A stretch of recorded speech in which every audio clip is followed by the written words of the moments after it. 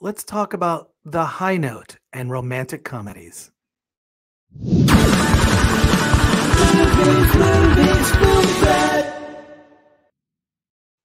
Welcome to the Film Threat Podcast. I am Chris Gore. I am pleased today to be joined by Nisha Ganatra. She is the director of The High Note, which is everywhere now. It's everywhere. You can see it everywhere. Um, uh, your iTunes, uh, your on demand. Um, it's it's a fantastic romantic comedy, and uh, I'm excited to talk to you about it.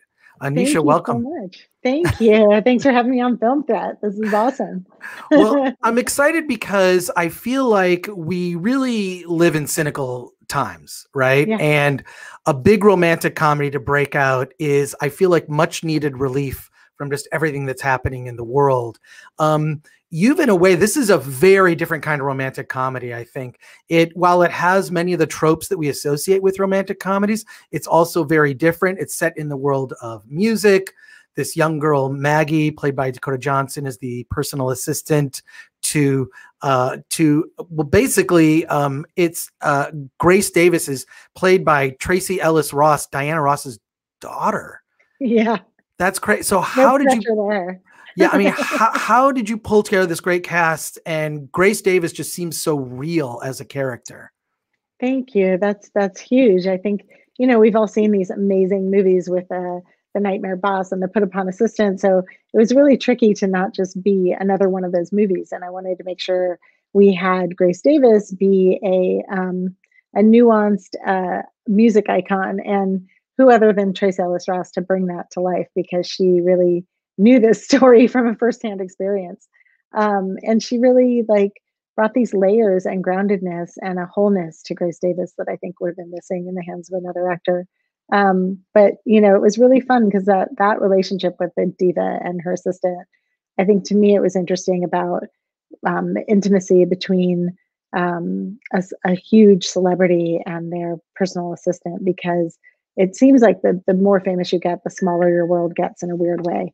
Um, it gets very isolated and very lonely, and so this assistant is often like the only person allowed into the circle. And I really wanted to explore those places where it's like they're friends, but they're not friends, and they have this intimacy of a friendship, but then it blows up in their face, and um, kind of their their relationship, how they can support each other and be each other's allies um, in moments that are the most important.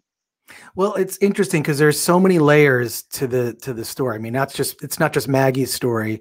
There are okay. yeah, yeah, yeah.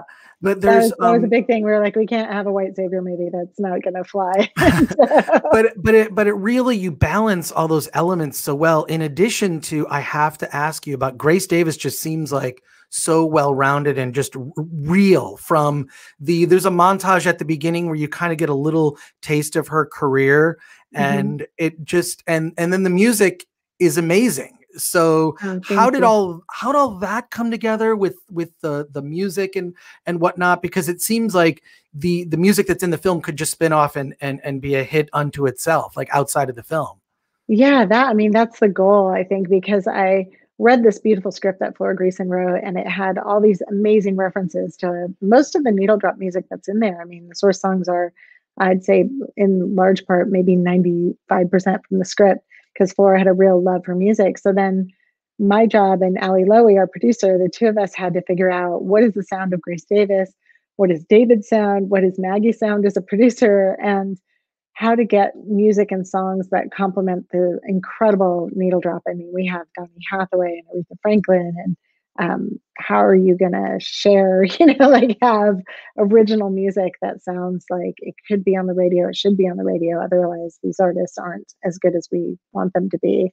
And um, how to do that with music that doesn't then compete with what's in there and make it sound like wallpaper. So um, that that was a really fun incredible task and also a huge learning curve for me because it's my first big music driven movie. So i had to really figure out um, how to uh, basically produce an album and songs at the same time I was prepping a movie. And that uh, was extremely exhausting, although very satisfying and gratifying experience. Well, I do want to have. I'm so glad you brought that up. The um, music producing aspect. Maggie has aspirations to be a music producer. Um, eh, you know, she's expressed her dream, and you shot at the Capitol. Uh, I, I recognize the Capitol Records building in the movie, which is okay. which is amazing. Those hallways. Um, I mean, there's so much music history there. It's really incredible. Tell me what it was like to shoot at that you know the capitol records building and then also just the the nuances of learning about i mean i, I didn't know anything about music producing um, it really is a whole different thing where you know you have to have an ear for that um, those scenes just rang so true i felt like i, I learned quite a bit um, tell me about that Thank you. That yeah, I love Los Angeles and the music industry here and the music scene here. I think it's one of those cities that gets overlooked as such a a hub of real um, music breaking through and of, of new music breaking through. And I love the Capitol Records building. We drive by it like all the time. We're on the 101 and just sometimes, you know, the, I know you, you love this building, the, the way the sun catches it and the light catches it. And you have that moment where you just realize that's Capitol Records and what's happened there and the history that's happened there. So when we were uh, given permission to film there, it just, the whole crew, all of us walked in so giddy. And while we were filming those scenes in those hallways, you realize the history, what's what's you know been made there, and the icons and legends that have performed there and recorded there.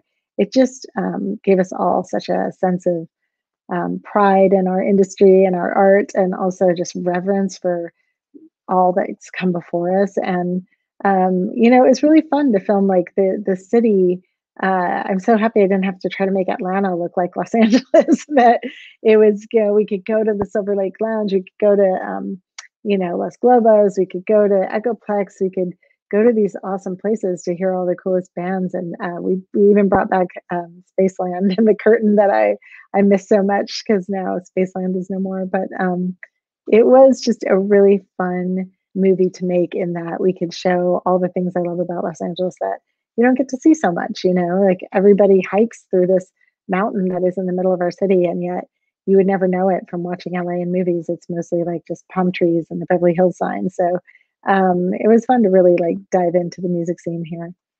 Well, I mean, in a sense, LA is like a character in the film, and I'm so glad you brought up Spaceland. Uh, that was so that's so awesome. Um, Ice Cube, I, I just want to just um, selfishly ask a question about working with Ice Cube. He's so awesome in this role. Was this something of a parody of maybe people that he encountered in the in the music business?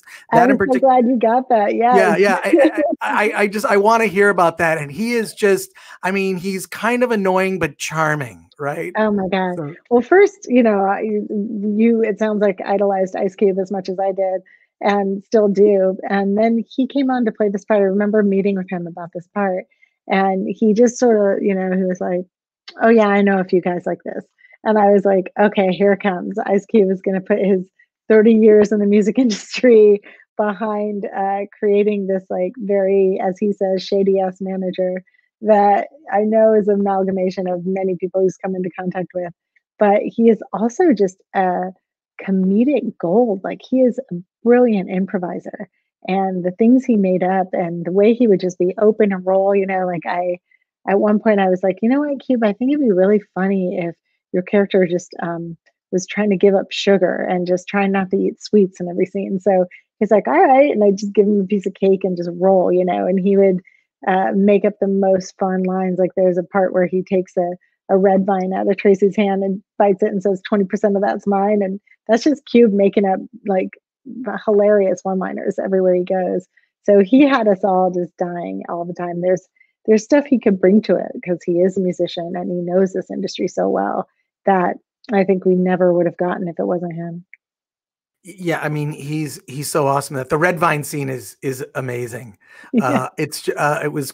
There's another scene too that I think really speaks to the um, some of the themes in, in the film, which is uh, where Grace Davis has the meeting with all the executives.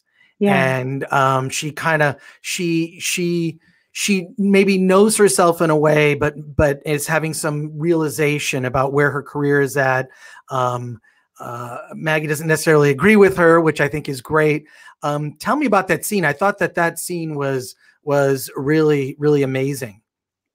Yeah, thank you. Yeah, that is that is the the probably arguably the most important scene in the movie. It's it's such a pivotal scene. It's two women, you know, both Maggie's character and Grace's character are at a point in their careers where they have to decide if they're going to take the safe road or if they're going to take a risk and reach for something bigger. And you know, I'm all for any movie that encourages women to take risks and then rewards them for taking that risk. I think that there's so many movies that really punish women for taking risks. And um, in that scene, she is Grace Davis, Tracee Ellis Ross is alone. Basically, she's the only woman of color in this room. She's got a, a you know all male record executives telling her what she should do. Her ally is Ice Cube, but he kind of folds and tells her to listen to the guys too. And the only person in the room who thinks she shouldn't have folded when she, you know, makes a decision to listen to their advice is Maggie. And so there's a scene in the bathroom after where it really is just such a beautiful scene because um, Tracee, her character is just so tired, you know, and you can tell it's just been years of compromise and biting your tongue. And she says the statistic that we were all shocked to learn, which is that in the history of music, only five women over the age of 40 have had a number one hit, and only one of them was Black. And that's an absolutely true statistic. And it kind of says, without saying it, you know, that Maggie and her sort of young and white privilege can come in and just say, no, you shouldn't do these things. You should just do what you want. And uh, not accepting the reality of the world and the stats and how things work, you know. But um, but both of them are in that moment cheerleading each other as they're even um, telling each other, you don't know my story and you don't know how it goes, you know. Um, and because it's a comedy, of course, it never gets as heavy as I just described. But that to me is really what's going on underneath that whole scene. Well, I think it. I think it makes um, you know this romantic comedy just have much more weight to it. Yeah. Um, I think that um, just Hollywood in the last decade, uh, romantic comedies are not as you know they're not as prevalent in terms of the that genre. I like the reinventions. Crazy rich asians i thought was amazing. Yeah. you know a, a, sort of flip on the traditional romantic comedy. I, I, I think i think this as well. And something that I, I find interesting that we're not talking about is the fact that the, at the center is also um, an interracial relationship Oh yeah, um, you're right. I mean, I mean, also How it's cool like that we're not even talking about it. yeah, it's not to me. It's not the thing that stands out. There's so many other aspects. I mean, I'd like to talk about her car. You know, she drives that that old Nova, right? Oh, it's a cool. Car. Yeah, old muscle car. You don't see yeah. you don't see that very often. But um, what I like is like, hey, I, at some point we're just going to get to the point where it's not even mentioned because because who cares? And I and yeah. I feel like the movie handles it in such a well way as to not ignore race, but also to not comment on it constantly. It's just it's there, it's recognized, um, and it's and it's handled in just in in just exactly the right way. Um, that just yeah, I mean, you're just attracted to those characters. You want to see them win. Yeah, I think that's the that's the fine line to walk, right? We can't say color and race doesn't exist because that's not true and that's bananas. But we also don't want to constantly be didactic and be like, well, because of this and because of that, you know. So I think you're right. The key is just diving into the characters and empathy and caring about them and their journeys. And that way, um, it kind of transcends everything else in there. Nisha Ganatra, thank you so much for talking to us on the Film Threat podcast. Uh, congratulations on the film. It's um, I I thought it was amazing. It's so fun. It's a breath of fresh air. It's something we need right now. And uh, mm. and and so congratulations. Thank you. I hope it does make everyone feel better. We made this movie for everyone to feel hopeful and happy when they walk out. So hopefully no one's walking out of their own homes now, but hopefully it'll still give you that that uplifting feeling. You can dance around your living room. Well, uh, I I just have one advice for anyone watching it: crank up the sound. Yes. It's, the music track is so good in the film. Yeah, um, we had incredible mixers and they're like the best uh, post sound people. So please, please, please, if you're going to watch it on a, a, iPad or a computer, which is a little bit of a bummer, but please at least put on headphones so you hear their incredible work. Great. Thank you so much, Nisha. Thanks for talking Thank to us. Thank you. Thank you so much.